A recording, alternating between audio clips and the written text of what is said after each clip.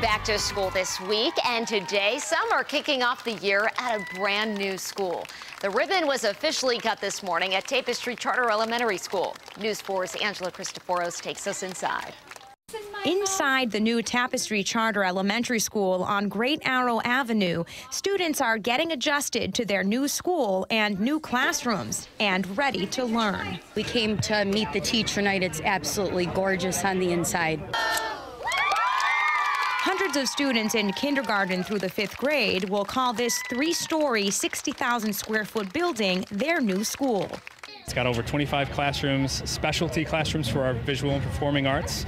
So we have a dance studio and a music classroom and a theater classroom. The school's executive director, Eric Klapper, says the school is like a community, and school staff take the time to get to know the children and their families.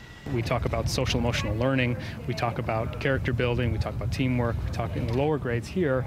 Uh, we focus on being kind and empathetic. It's like a family here, very close knit.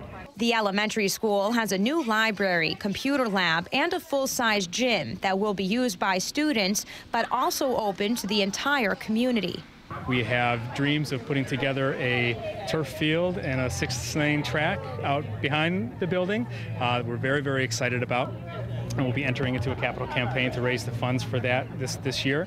Angela Christoforos, News 4.